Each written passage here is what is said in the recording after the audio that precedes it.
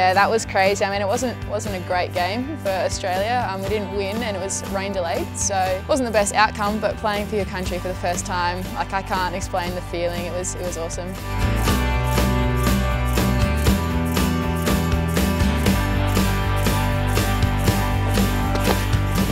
Edged and taken, and Australia get the early breakthrough, the one that they needed.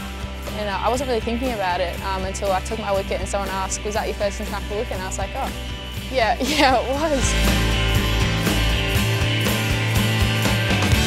It gets a bit busy around this time in pre-season, um, lots of travelling to Sydney and, up here in Brisbane. Um, but I'm in school and um, the ACA has been really great with um, juggling both, so um, I'm really lucky to have them on board. School's definitely happy that I'm back, um, so I'm not missing out anymore. But yeah, they're really proud of, of, what I've done, which is really good. Teachers have all congratulated me, and um, yeah, my friends are really proud.